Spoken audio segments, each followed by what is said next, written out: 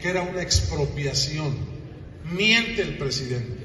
Una expropiación por causa de utilidad pública le regresa al propietario o le pagan al propietario precisamente por esa expropiación. Lo que están haciendo con los recursos de los trabajadores es confiscárselos. Es decir, el gobierno agarra sus recursos para manejarlos ellos en un fideicomiso que quieren crear y que no tienen ni siquiera reglas de operación.